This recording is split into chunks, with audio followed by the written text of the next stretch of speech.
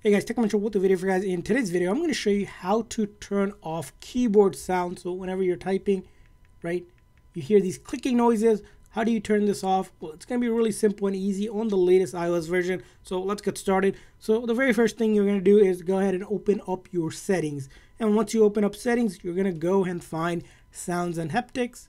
And once you find sounds and haptic, you're going to go all the way down here under system sounds and haptics and you'll see the option for keyboard feedback. Now, once you click on the keyboard feedback, you'll see there's a toggle to turn on and off sound. So if you don't want sound on your keyboard, click turn that off. And now let's go back to our messages. And this time, as you can see, as I'm typing, the sound is mute. There is no more sound. And same along with that is haptics. If you want the feedback where the phone gives you a haptic feedback and turn that on or off, but that one will, will not affect the sound as long as you click on the sound one and your sound will no longer be present. It will be turned off. So I hope this quick little video was helpful. If so, please make sure to like and subscribe button. Thanks for watching, guys. See you guys next time.